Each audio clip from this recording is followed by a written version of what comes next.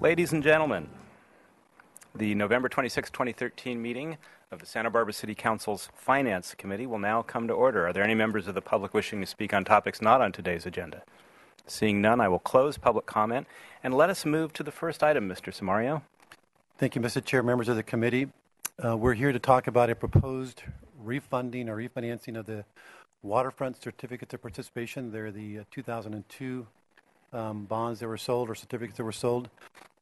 I want to just start by saying that I'm going to get into some fairly complicated discussions about how we're structuring this financing deal, but I would, if you can just keep in mind that ultimately what we're trying to do is just refinance the old debt with new debt or from new debt in order to take advantage of lower interest rates, just like you would if you were going to refinance your mortgage. You know, interest rates are now low, and so if you finance, you can take you know lower your payments on a monthly basis.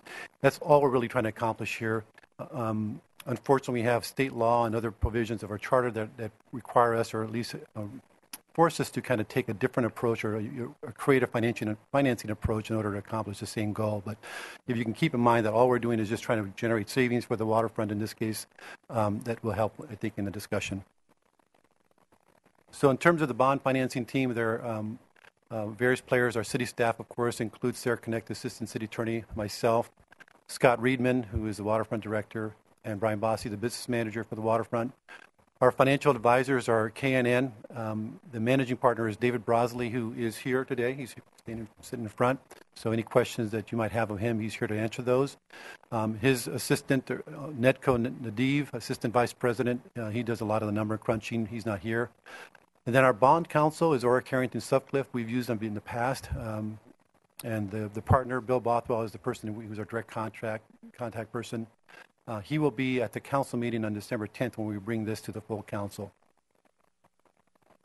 So, as I mentioned, background very low interest rate environment, historically low interest rates that we're seeing now, uh, which means that existing debt um, issued before this current environment, um, we just look at those on an ongoing basis for opportunities to refinance and take advantage of those lower interest rates.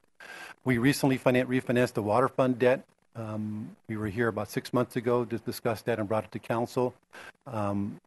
We at the same time uh, refunded the, the 2003 state revolving loan that they had along with the 2002 re- water refunding COPs that generated annual savings of about $180,000 for the for the water fund. So pretty substantial amount of money that just by taking advantage of the lower interest rates. And we we recognized this early on. We were with, to the finance committee a number of months ago. We identified that there may be other uh, opportunities. One of them being the waterfront COPs that um, could where we could save some money so now that we're done with the water deal, we're here presenting an opportunity to refinance the waterfront COPs. So the financing structure. So just kind of a conceptual framework because this is what you would typically, this is what we're trying to accomplish. So um, the waterfront normally on a, on a, just on a conceptual basis is going to be issuing debt and we're looking at about $14 million what's needed in order to refinance the bonds. So they will sell theoretically $14 million in revenue bonds to the investors. Investors will then pay to the waterfront fund the $14 million, which would be then used to pay um, to the escrow agent to refinance the old debt. So replacing an, um, one new debt with an old debt. That's the conceptual framework. We're just selling bonds to investors and using that money to re- refinance the old bonds. And then we're going to have an ongoing requirement, of course, to repay those new debt. So every year, uh, actually semi-annually, we'll pay interest, and annually we would pay principal. Um, the waterfront from its revenues, existing revenues, would pay the investors back on the bonds pursuant to the, the amortization schedule. So that's the concept. But we're going in order for us to accomplish this, we're going to we introduce a, a, new character, or not a new, but a, a, a third party, if you will. It's called the Santa Barbara Financing Authority. This is a legal entity, and we created this uh, strictly to facilitate the issuance of these kinds of debts. Uh, we've done a number of them in the past. Um, and a, a, joint powers authority, they're, you know, they're, they're typically created these types of entities to manage or administer common interest. We have examples here in the South Coast, the CCRB, which is the Cachuma Conservation Release Board. We also have CCWA, the Central Coast Water Authority. So the joint powers authorities are, are not a, a new uh, invention. They've been around for a while. Uh, we used the Santa Barbara Financing Authority in 2002 for the first time in the connection with the sale, the issuance of the 2002 water COPs. So it's not the first time we've used them. It is a joint powers authority that's created pursuant to state law. And it was originally created between the city and the city's redevelopment agency, but as you know, the RDA no longer exists. And under those uh, dissolution laws, successor agencies are allowed to assume the role of the former RDA. So this joint powers authority is really now between the city and the successor agency to the to the RDA. Which is the city. Yes, and it's, sort of. So it's not really a joint powers agreement. True. Okay. But legally and technically it is. So, our, the, the state law and charter provisions for enterprise fund revenue bonds, the state law does not require a voter approval, but our city charter does. It does require a majority vote whenever the enterprise funds or if the enterprise funds were to issue revenue bonds directly. However, by using the Santa Barbara Financing Authority, um, they will effectively issue the bonds. The, the enterprise fund, like in this case the waterfront fund, would not be issuing the bonds, but the authority would be. And the, the bonds, however, are ultimately secured by payments to be made by the enterprise fund, in this case the waterfront fund, to the authority, uh, pursuant to what's called an installment sale agreement, which we'll talk about. But the whole purpose of this is that, or the benefit of this is it does not require voter approval going under this financing structure. So if the, if the enterprise funds or the waterfront, for example, were to issue revenue bonds itself, it would require, under our city charter, voter approval. With, the, with this financing structure, it, it avoids that voter requirement. So conventionally, uh, what we would see is the, the, the waterfront fund, again, issuing revenue bonds to the investors and in return getting proceeds. But what we're going to be doing is introducing this the Santa Barbara Financing Authority and the, sort of as a middleman, whereas they would be issuing the revenue bonds and getting the money, and that money would then be transferred over to the waterfront fund. It does create, in my mind at least, it creates the question or asks, begs the question what is the basis or the consideration for the authority remitting $14 million to the waterfront fund?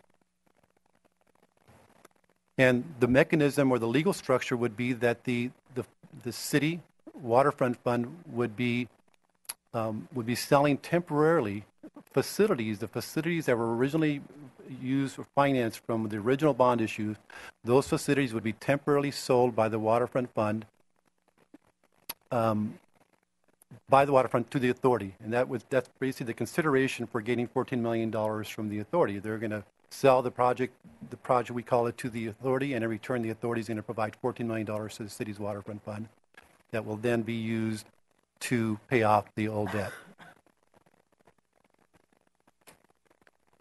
So once this kind of occurs, so the status of the Santa Barbara Authority, once the, the, bonds have been issued, is that essentially it, or effectively it owns these, these facilities, the project, but it needs to also be making semi-annual interest payments and annual principal payments to the bondholders, but it has no source of revenue, so it's got to find a way to, to do that.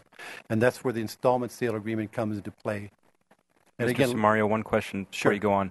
So the what, what are exactly the facilities that the project comprises? There were a number of them, and I know Scott Riedman is here can answer this, but there was a variety of facilities and improvements to the waterfront overall that were made back even in, when the, in the 80s when these bonds or the debt was originally issued.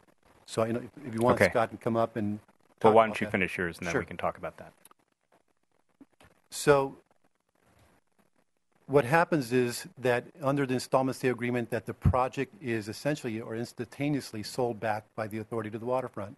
And we're talking about somewhat fiction here again in order to accomplish this but the project is sold back by the authority to the waterfront and in return the waterfront agrees to pay the water the, the authority over a period of time. So rather than pay the money back directly it's going to pay it over a period of time that corresponds to the debt service requirements on the bonds issued by the authority so it's a mechanism created to create a flow of funds that ultimately from the waterfront fund to the authority in order for them to be able to pay off the bonds. Remember the concept. The, the, essentially, the waterfront is issuing debt, and it's going to be using the proceeds of that to refund its old debt, and it's going to re- rely on its own revenues to pay on the new debt. But it's just sort of using this middle middle entity, the financing authority, in order to make that happen in order to just to avoid having, essentially to avoid having to vote over the people because that's costly, it's time consuming, and all we're trying to do here is accomplish savings of money. So we thought this is the best way to effectuate that. And this is not unusual. This is very typical. Mm-hmm. We've done this. We did, did, this exact same thing with the waterfront. I'm sorry, the water uh, uh, refinancing six months ago. Same exact structure. It's just what we need to do in order to accomplish this financing. So the whole picture, the authority on the, left, number one, sells bonds, gets $14 million from the investors. That money then is remitted to the waterfront fund in consideration for the for the purchase of the of the project. And then to the right, number three, that million, that $14 million is used to pay the escrow agent who will take that money to refinance or refund, I'm sorry, to repay or pay off the 2002 waterfront COPs. And then the waterfront fund will be left with new debt, essentially. And so, on an ongoing basis, the, the city's waterfront fund will be paying, making installment payments to the financing authority, who will use those monies to make semi-annual payments and annual payments of principal to the trustee, who will then remit those monies to the investor. And what's really, in reality, what's going to happen is the, the, the two entities will kind of become out, be taken out of the picture on an ongoing basis, basis because the city's waterfront fund will be making those payments directly to the investor. Effectively, we're just transferring mm-hmm. money. We're bypassing all the all these entities and the flow of monies. It'll go directly to the investor. So again, it's it's complicated, and it sort of seems unnecessary, but it is necessary for us to accomplish this financing. And the reason we go into this kind of detail is because when we're here at council with council on December 10th, we're going to be presenting some documents that require approval by council, um, such as an installment sale agreement and so forth. So um, it's important to at least to understand this, the structure behind it and why we have such documents for approval. Any questions on this part of it of the presentation? Thank Ms. you. Maria. Thank you, Mr. Chair. Mr. Samario, I'm reading through here about um, potential risks. There's a couple of them here. Can you walk us through those? Or that's next? Yeah, we'll talk about that in, in Okay. the second part of this, which is the uh, proposal to do use of private placement versus the public offering. So, if- Oh, unless okay. you have I got questions on ahead of this you. part, we Thank can you. get into that. I have a question. Um, I'm not sure which the, which charter provision it is that forces us to go to a vote of the people. So, excuse my ignorance on that. But i- is this something that we should change in the charter so that we wouldn't have to do this sort of runaround? Yeah, we could, but that would require voter approval. Right. Um, but we could, but um, obviously, I'm not saying that we do it for this one. Yeah. But just in the future, if it's if there's such a clear distinction between a case like this, where we're Yeah. really just trying to save the city some money, right. and something that's perhaps more risky, We could. Uh, we could. I mean, we, there's obviously a mechanism to to get there anyway right now through this uh, financing structure, but um, but we could. okay, thanks. So proposed private placement. So typically, uh, whenever um, an entity issues bonds, for example, uh, it's through what's called a public offering. And what that essentially means is that the, the bonds or the underlying debt instruments are, are available to any investor in, in, in the public. Any investor, all of you could invest, for, for example, municipal bonds, municipal debt. But they initially they're sold to an investment bank, and then those uh, the bank then sells those debt securities to private or institutional investors. Under a proposed private placement, the underlying debt instruments, in this case revenue bonds, are sold to one entity, a qualified institutional buyer, versus the general public. So they're really purchased by one entity. The securities are retained by the bank in this case, and they're not sold to general investors. That's the difference, fundamental difference. So multiple investors available to anybody versus one investor buying all the bonds. And the reasons for considering a private placement is that it, and this is significant, it does involve a lot of time on, on the part of uh, staff to go through a typical public offering. There is, there are a lot of documents that need to be prepared, uh, what's called the disclosure information, which is the official statement, which is a fairly big document. It takes a lot of time to produce and compile all of that, and that's really mostly staff time. Um, but that's what is required under a public offering. So with a private placement, we don't have that. The, time amount of time of staff time is probably a third or maybe even less, a quarter of the time. Uh, there are reduction in transaction costs for, for our financial advisor, for our bond counsel and rating agencies, and other considerations. Typically, with a private placement, you do have higher interest rate, so you're paying a little higher, a little more money for that. Um, the risks are, are in substance about the same, although they're slightly different. They're unique risks, but we don't see any substantive changes in our risk profile by going through a private placement. Um, the only risk we would have potentially is that we would have to pay $15,000 in legal fees to the bank if the transaction ultimately was not executed, if we didn't fulfill our commitment. Whereas with a typical public offering, if it, the deal doesn't go through, we don't pay anything other than potentially um, for to rating agencies. So there's a little bit of risk, but uh, but in substance, we don't see this as a more risky transaction than a typical public offering. So we are recommending uh, a private placement and um, using Compass Mortgage as the investor, or selecting Compass Mortgage. Um, they meet what's, what's called the qualified institutional buyer criteria, and they were selected through a competitive process. Um, we sent out a request for bid to 13 institutions, and only two were received, just because of the nature of this, of this what they call the credit waterfront debt is unusual. So we were actually surprised and pleased that we got actually two proposals. Um, and Compass Mortgage offered the lowest overall cost, which we'll see a little bit later what that means. Um, and what's interesting is that the, the interest rates that we they, they proposed are actually lower than what we would have expected if we did a public offering. And as I said at the front, front end, we typically would expect a higher interest rate, but there is value to that because of the reduced amount of staff time. But in this case, not only are we saving staff time, but we're actually getting lower cost um, than a typically typical public offering. So it's a win-win for us. So in a sense, how does it change the picture? It's the same picture we looked at before, except at the bottom right, you'll see instead of an, the investors, we, replace that with one investor, and that's Compass Mortgage. But everything else stays exactly the same. So this is a comparison to the cost savings of, from a, a public offering versus going with the private placement using Compass Mortgage based on their proposal. So transaction costs, you can see we're going to be saving about uh, $45,000 from our consultants between our financial advisors and our bond counsel. We won't have to pay fifteen to eighteen thousand dollars to a rating, agency, which would be required. Uh, the legal fees, um, fifteen thousand dollars, um, and actually that's a mistake that we wouldn't have anything in the public offering, but we would we would, would have those or do have those with the uh, private placement with Compass Mortgage.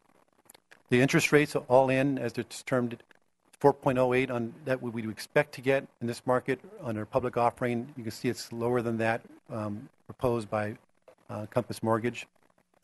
The nominal savings, meaning what are the total dollars we would save over the, over the term of the, of the new debt. Under the public offering, we would expect about $990,000 in savings, but with their proposal, uh, we're going to look at almost a little over $1.1 million. So it's really a good deal for us.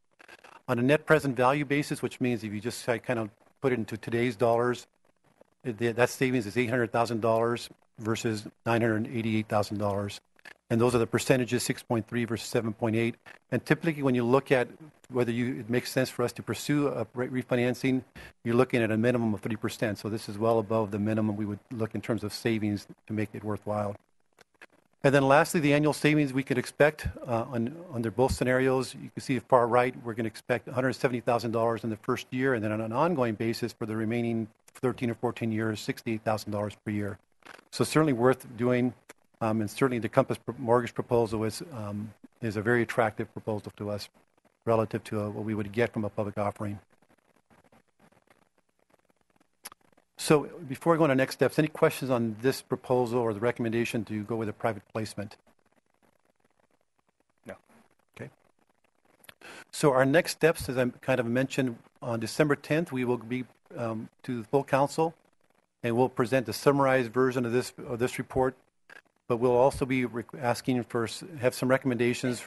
One, we would be um, doing a first reading of the city ordinance, which authorizes the installment sale agreement and trust agreement. So that's the first reading. The following week will be a second reading. Um, we would be adopting a resolution by the authority. So the actual uh, Santa Barbara Financing Authority would be authorizing through a resolution the execution of an installment sale agreement, a trust agreement, and the issuance of, of bonds. And then, as I mentioned, one week later, adoption of the ordinance, and then that ordinance would take effect on January 17th, 2014. And then shortly thereafter, the actual deal will, will close. We'll execute that transaction somewhere about a week or so later. So that's, that's all I have. Okay. I'd be happy to answer any questions. Questions from committee members? Mr. White? Thank you, Mr. Chair. Um, so, Ed, one question that you had asked, and um, um, I'm recalling that was it the the West Marine facility and the Harbor Patrol headquarters? Was that the the big project that, that came out of this financing? Is that? Um, Mr. Chair, Committee Member White, Scott Riedman, Waterfront Director. Um, this does not have to do with uh, West Marine. Um, just prior to I mean, that 1984. building. Yeah, no, this we that building was financed through Waterfront Department reserves and a loan from the general fund of 1.7 million. So that was not included Okay. in this. Prior to 1984, we got construction loans from the Department of Boating and Waterways, primarily for marina construction. The most obvious one was the complete replacement and reconfiguration of Marina 1 in 1977.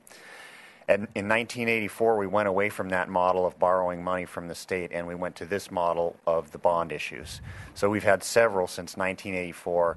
Um, and as you'll recall, in 1983, we had tremendous storms hit the harbor and cause a lot of damage. So the 1984 um, COP issue uh, paid off all the California Department of Boating and Waterways loans and brought out new money to do um, repairs to the marina, sand, sandbar breakwater extension, extensive repairs to um, the marinas, wave run-up wall that you may notice between the yacht club and the West Marine building and the par- main, harbor main parking lot, um, ripped up asphalt, everything from the 83 storms.